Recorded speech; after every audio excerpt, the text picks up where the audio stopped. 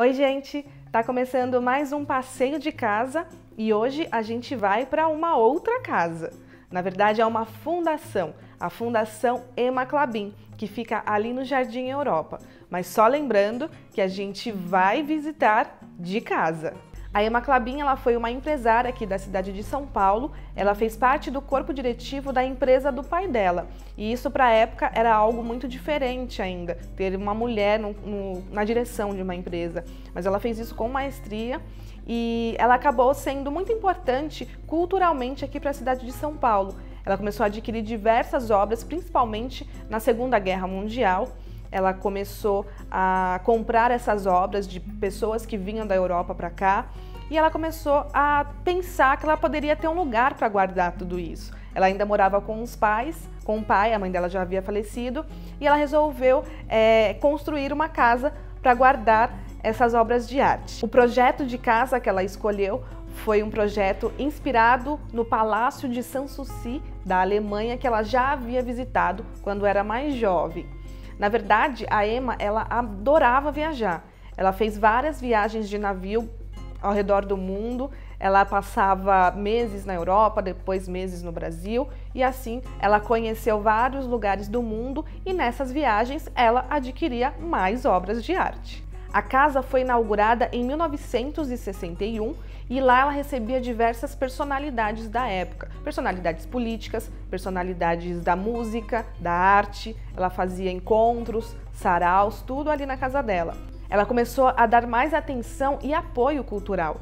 E assim ela foi construindo essa casa que ela teve a ideia de se de transformar num museu. Hoje, na casa dela, a gente encontra obras que vão desde o barroco até o modernismo brasileiro e tem gravuras, pinturas, esculturas, tapeçaria, móveis, tudo que ela foi adquirindo ao longo da vida. E o mais interessante é que ela sabia a história de todos os objetos, onde ela tinha comprado, com quem ela tinha comprado. E ela comprava muitas coisas nas viagens que ela fazia. Então a gente também encontra peças chinesas, peças indianas e é, tá tudo ali guardadinho para a gente poder conhecer. A fundação da Fundação Emaclabim foi em 1978 e lá a gente encontra, além desses objetos e obras de arte, de, de lugares que ela, que ela passeava e de grandes artistas é, conhecidos e reconhecidos mundialmente, hoje lá a gente tem cursos, workshops, apresentações musicais, tudo isso ali na casa ou no jardim, que, lembrando, o jardim foi projetado por Burle Marx. Bom, agora chega de falar e vamos conhecer um pouquinho da Fundação Emma Clabin. Entrando no site, a gente vê um breve histórico da Emma Clabin e da Fundação. Daí a gente vai para o hall principal. O hall circular, ele repete o projeto da Galeria Sanssouci, que eu falei lá atrás sobre o Palácio Alemão. E as peças expostas reúnem diversos materiais, diversos períodos e técnicas o, esse corredor que conecta os ambientes da casa faz referência às grandes galerias dos palácios europeus. Aí a gente vai para a biblioteca. A biblioteca era onde a Emma passava a maior parte do seu tempo ouvindo música ou lendo os seus livros. Eu, se tivesse uma biblioteca dessa, faria a mesma coisa. Essa é a sala de jantar com um jardim de inverno belíssimo e muitas peças em barroco, que é o que marca a sala de jantar da Emma Clabin.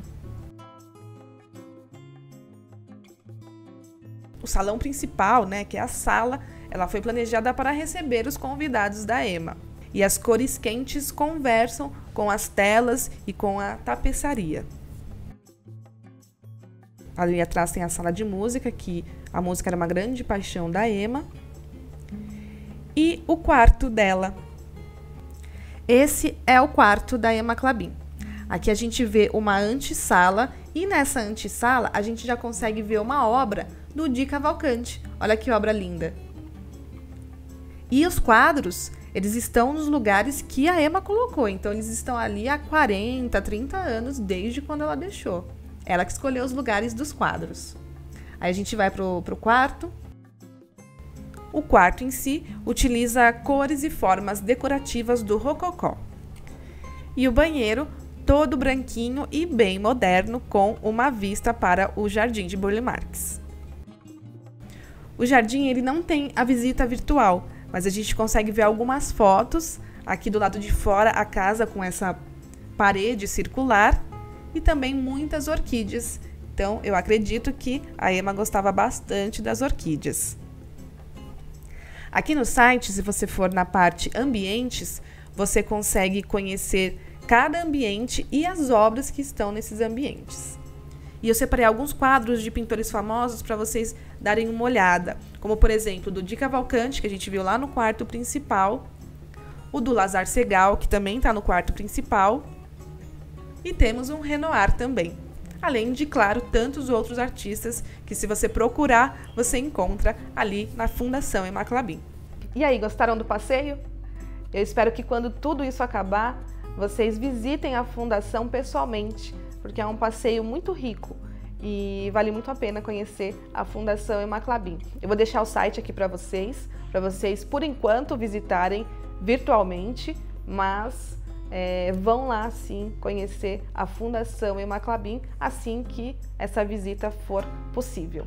E esse foi mais um passeio de casa. Até a próxima!